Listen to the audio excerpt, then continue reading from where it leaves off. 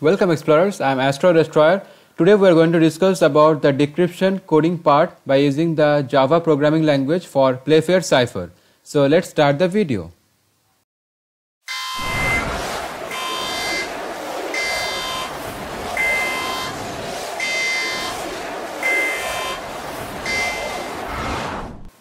So now this video is about the final part or the decryption part for our Playfair cipher. So as usual, basically I am going to start from, I am going to start explaining from the public static void main function. Here as you can see inside this function, the control is going to first of all come inside this function. And inside this function, the first thing which I had done is I had declared one string variable called encpt and I had taken the ciphertext as input from the user by using the scanner class and then I had declared the string variable called key and I had also taken the same from the user as input and after that I had invoked the decrypt function which is taking the encrypt or encpt string variable as well as key variable. So after here the control is going to pass over to the decrypt function. So here is the decrypt function static void decrypt and taking two arguments encpt and key. Okay. So basically these two things are string and we have to convert them into character array for our convenience. So for that I am going to write so for that I am going to write these two lines of code. The first line of code is going to convert the string encpt to the character array format called encpt underscore arr and for the key string variable we are going to convert it to the character array format and having the variable called key underscore arr. So these are the two character arrays called encpt underscore arr and key underscore arr. So these are the character array equivalents of encpt string variable and string variable called key. Now after that I had created one one dimensional character array called alpha containing the letters of the English alphabet from A to Z where I where I is there but J is not there. So basically you all might have seen my previous video. So basically I had declared uh, the same thing there also and after that I had declared one two dimensional character array called table having 5 rows and 5 columns and I had then declared one integer variable called control.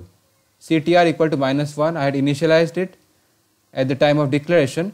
And this for loop where this for loop as you can see here this for loop is basically going to fill the first set of positions present in the table two dimensional character array with the letters of the word which are present inside the key.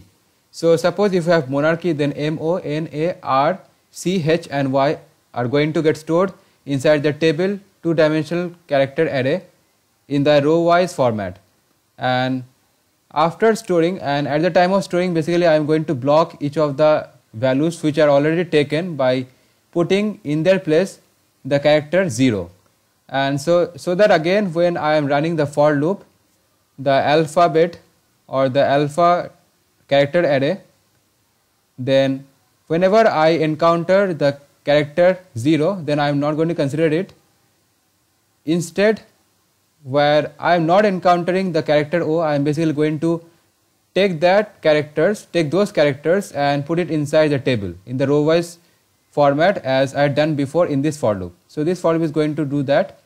And after that I had invoked or prompted the user to sorry after that I had printed the reference table by using this for loop. Okay, so system.out.println the reference table and then I had printed the reference table.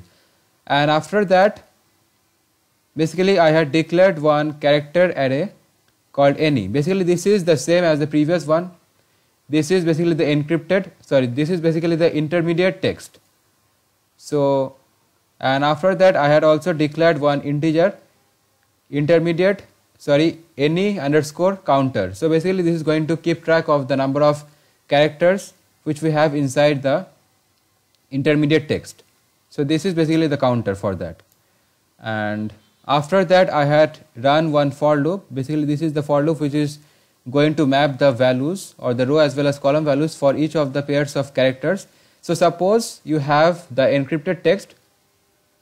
So suppose you have uh, sorry suppose you have the intermediate text sorry and the intermediate text is always going to have even number of characters right so we we have some pairs of characters now for each of the pairs of characters we are going to run the for loop so suppose if you have 6 characters or 3 pairs then this for loop is going to run 3 times now for each of the pairs or for each of the iterations we are basically going to store the row as well as column value or column index for the first character as well as second character of each of the pairs.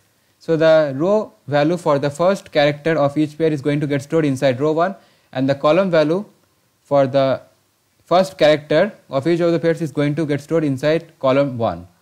And similarly, the row value for the second character of each of the pairs is going to get stored inside row 2 and the column value for the second character of each of the pairs is going to get stored inside column 2 and after doing that suppose the row 1 as well as the column suppose the row 1 as well as the row 2 values are same.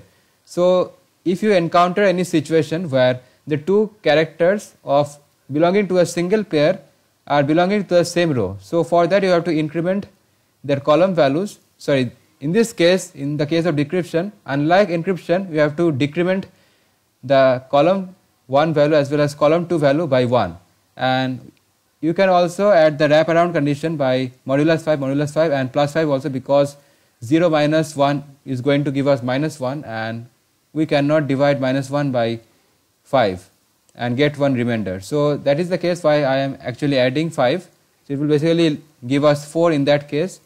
5 minus 1 is 4 and 4 modulus 5 will give us 4. So basically it is also going to give one wraparound condition and now if you encounter the next type or the next rule comes here is that if you have two characters belonging to a pair where the column as well as where the column values are the same. So if they belong to the same column then we are going to decrement the row 1 as well as row 2 values by 1 and we are also going to apply the wraparound condition and after that in each of these cases in this case as well as this case we are basically going to increment the pointer or counter sorry the intermediate counter we are going to increment it. And before incrementing we are going to store the character which is present in the respective position by mapping the row 1 column 1 row 2 column 2 values with respect to the table value inside the intermediate variable or the any variable.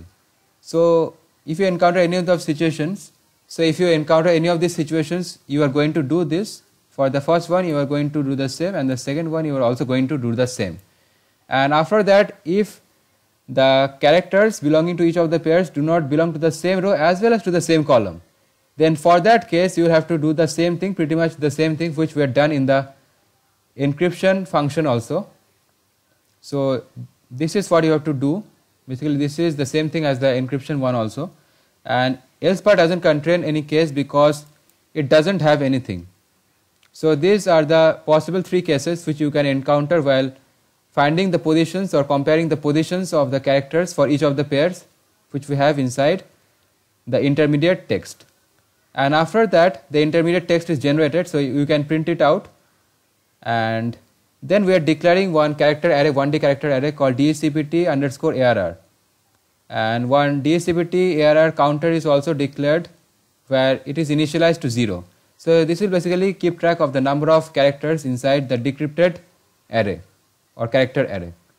So after that I, I am running one for loop where basically for each of the characters present inside the intermediate text is going to run and suppose you encounter any intermediate text if you encounter any character present in the intermediate text where you are encountering any x so you have to become very cautious and for all this stuff only I written all these if conditions as I done in the previous video but writing these if conditions was relatively easy for me than the previous video because these if conditions I already knew the logic because I had already written the previous video.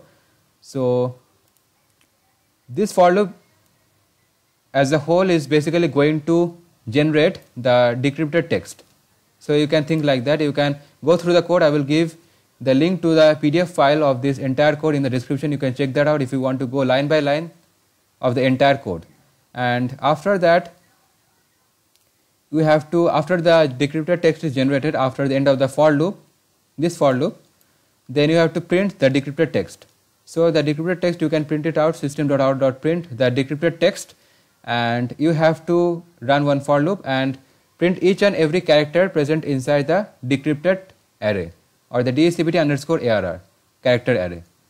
So that was all from the coding part. Now let me give you some examples and let me explain you some of the drawbacks which you can face. So let me explain by using the familiar one only enter ciphertext. So you can enter the ciphertext now. Now let me enter C F S U P M and enter the key monarchy.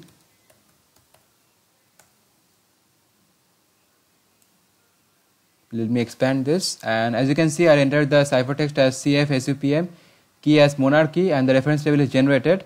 So as I had basically described in the introductory video for the Playfair cipher, the intermediate text is this one H-E-L-X-L-O and the decrypted text is hello. So basically this was the ciphertext I actually remembered the ciphertext so I had actually typed in here. Now let me give you the drawback for this code which I had actually written. It basically doesn't work for all those ciphertexts which have J and basically after compiling or in the due process of the program it will not be able to recognize capital J because we don't have any capital J in the ciphertext. So basically let me give you an example. So in the next case, in the drawback case, I am going to write the ciphertext as SBUZUZ and enter the key as monarchy. So the reference table is generated and the intermediate text as you can see here in the introductory video I had actually generated the intermediate text as JAZXZX but here it is coming IAZXZX. So this is basically a drawback because in the cipher ciphertext we don't have any because in the intermediate text you actually don't have any capital J because I and J are considered to be the same in the table. So in the table as you can see we don't have any J. So it will not be able to recognize any J even if it is there in the actual text or the plain text or the decrypted text. So the decrypted text also is going to present the same thing only with no J. So here in place of j which was actually supposed to be j, it will not be able to detect it. So it will actually is bound to it actually is bound to print the decrypted text without j and in place of j wherever you encounter j it is going to print capital I. So this is one drawback and this can actually lead to severe data loss if you had actually used it in the world war or in any other place.